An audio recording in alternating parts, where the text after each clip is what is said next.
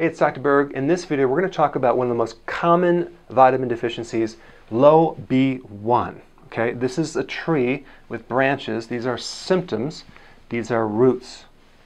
I know it doesn't look like a tree, but that's what it is. Okay, first symptom is restless legs, restless leg syndrome. That's a B1 deficiency. It's a buildup of lactic acid. Lactic acid builds up uh, from a natural uh, process of of carbohydrate metabolism or sugar metabolism in your body. So if you're eating too much sugar or breads and pasta and cereal and crackers, all that stuff, and it can't clear it, you'll end up with restless leg. It's like a lot of nervous energy in your legs and other parts of your body. And if you work out and you feel sore a little too long, you could take some B1 and get rid of that soreness really fast because this is the remedy for restless legs. If you look up um, low vitamin B1, uh, a classic vitamin deficiency, like really severe. They call that beriberi. Um, beriberi affects the heart, and that's why the pulse rate starts going higher and higher and higher with a B1 deficiency. You also end up backing up with fluid into your legs, edema, from a low vitamin B1 as well, because the heart is weak. Another deficiency, because this controls the nerve, especially the myelin, the, the outside of the sheath of the nerve. If that thing is gone, if you don't have enough B1, you won't be able to build up the, the, the surrounding protective coating around the nerves. And then you get tingling and numbness in your fingers, hands, and feet and toes. And that's why diabetics, for example, uh, end up with peripheral neuropathy. That's the tingling in the feet and the hands because they are very deficient in B1. In fact, diabetics uh, need about 15 times more B1 than a normal person. They're very, very low in B1. And when you actually give them B1 in a natural form, it actually helps lower their insulin. So it's really good for diabetics. But that's why they get those symptoms because they run out of the B1 and that's the remedy. Okay, nightmares is a classic symptom for low B1 as well. Um, air hunger at night is a symptom of low B1. Coughing at night is another symptom of low B1.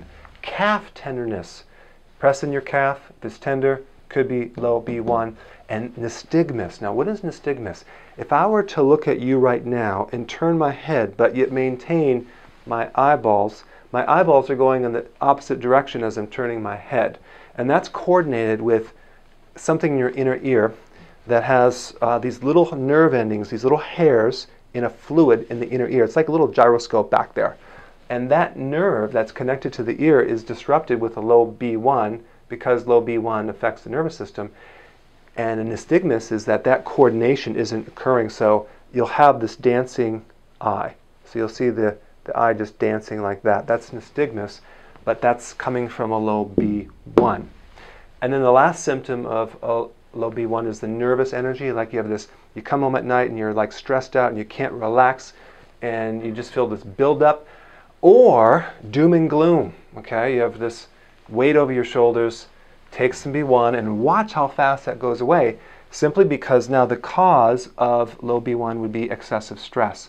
When you use a lot of mental energy and physical energy, you deplete your B1 reserve. So alcohol will also deplete B1. Liver damage will deplete B1. And then, of course, the classic too much sugar or just sugar and I mean not too much just you shouldn't be eating any sugar because that's going to deplete B1 and then refined carbohydrates and that would be the breads, pasta, cereal, crackers, biscuits. I don't recommend taking a synthetic B1 unless you're doing some type of detoxification cleanse and it's a short-term thing. You'd be much better off um, taking nutritional yeast.